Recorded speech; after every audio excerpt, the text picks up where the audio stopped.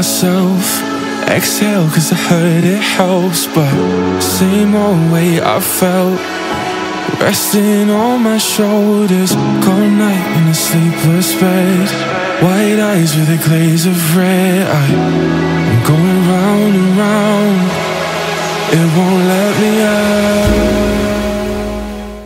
up, guys, and welcome back to the second episode of the Coffee Hour. So, I'm here to show you a fantastic service that I use to get my website online in less than even 10 seconds, and I'm about to show you this right now. So, right now, I have a static website uh, that I have. I'm working on this for the next video where we'll be doing a wallet app and whatnot.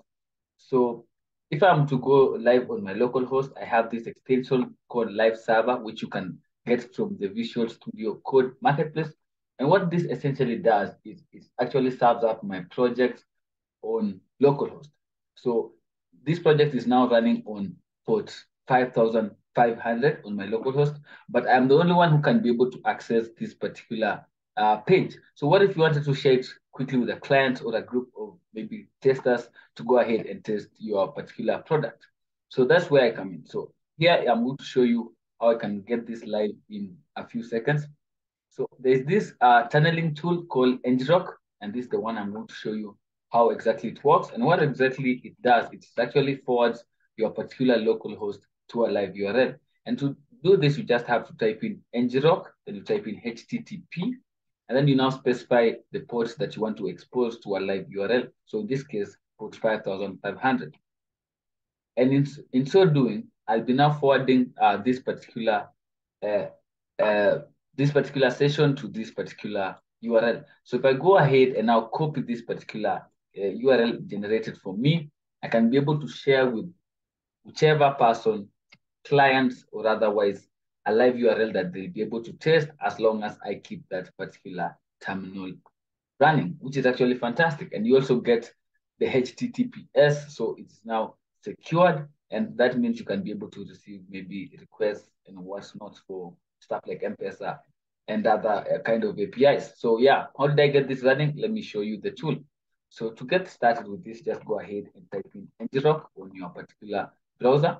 So just click on the first line. So online in one line. So to get this set up, depending on your operating system, you just need to create an account. It is absolutely free to do. So just go ahead and do that. And once you have actually created this account, you will have to actually download uh, this particular command line tool. So you'll see the instructions depending on your operating system on how you can download this. So uh, for Windows, you can download this using this particular uh, command if you have Chocolatey installed, or you can actually have this installer. So you can go ahead and do all that. So once you have actually installed this, you will need to add an auth token, which will be generated on your account.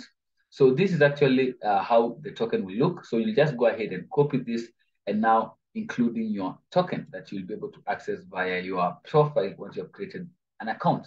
So once you run this particular command after the installation, that is literally all you need to get started with this tool.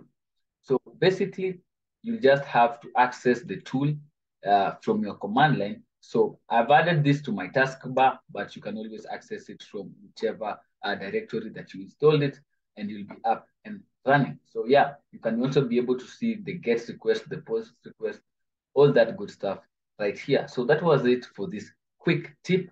Hopefully you guys found value from this video. If you have any questions or inquiries, do let me know down in the comment section and I'll be sure to reply to it. So yeah, I'll see you guys in the next particular video.